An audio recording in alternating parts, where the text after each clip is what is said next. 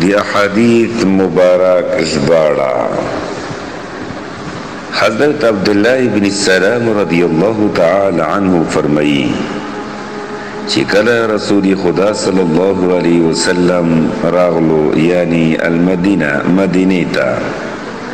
نو خلق هغه طرف ته ډیر تیزه سره راغله او خلکو کې دا خبره خورا شوه چې رسول خدا صلی الله علیه وسلم راورسېدو، نو زه هم په دا خلکو کې ورغلم دې دپاره چې زه وګورم دغه سړی، نو کله چې ما په غور سره د حضور صلی الله علیه وسلم هغه مخ مبارک ولېدو نو زه پوه شوم چی داغه مخ دادی دروغجن سړی نشی کیدای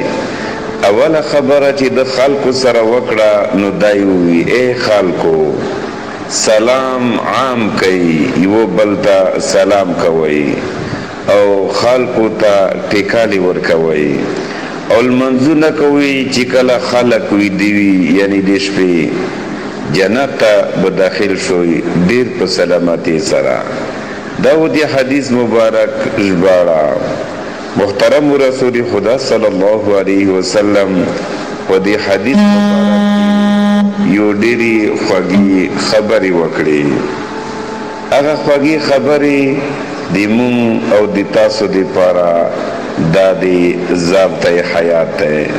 دی مونږ او دی تاسو دی پاره دی زندګی کړی دی دی مونږ او دی ستاسو دی پاره دی زندګی تیرونی اصول دی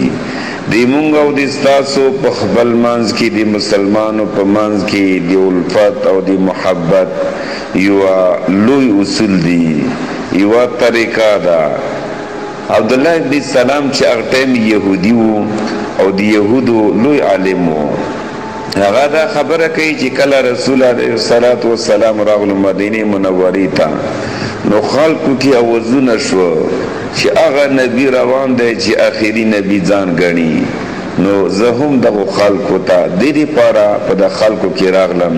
چې زه وګورم دا سړی کوم قسم دی خو چې ما ډېر غور سره چې کله د رسول خدا صلی الله علیه وسلم ښکلې چهره مبارکه او منوره اه مې چې کله ولیده نو زه پوه شوم چې دا د دروغجن سړي چهره نه کېږي،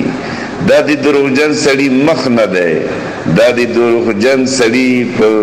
مخ باندې نور نه وي، دا د نور والا چهره دی. او نو اوله خبره چې خلکو سره د وکړه نورې کیسې د خوراک نه وي نورې کیسې د کور او د نورو اشیاو نه وي اول منځ کې د خلکو منځ کې د محبت د الفت د امن خبره وکړه افشو السلام سلام عام کوی خپل منځ کې و بل تعارف تام لم تعرف چې پیژني او کنه پیژني هر هر سړی ته چې السلام علیکم جنت ته چې خلک داخل شي نو دوی ته واز وشي سلام علیکم طبتم بما صبرتم نو هغه ته هم سلام ده او په جنت کې به یو بل ته سلام علیکم بل ته به سلام وي دویمه خبره وکړه چې واته متام خلکو ته ډیکاله ورکوه بخیل ما جوړیږه دسترخوان وغوړوه د خلکو دپاره د خپل د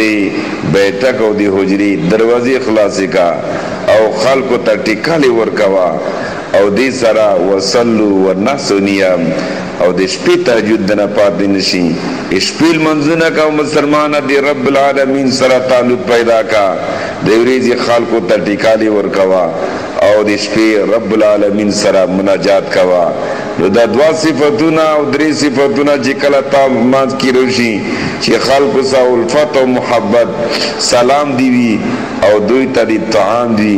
او شپې دي خټه مي دي رب العالمين سره دي ملاقات وي نو دغه نه بعد چي کله ته مړ شي تدخلو الجنة بالسلام نو بيا جنت ته ډير په سلامتۍ سره داخليږه مسلمانه که په دي باندي دي عمل وکړو ته هم کامياب نسل دي هم کامياب قوم او قبيله دي هم کاميابه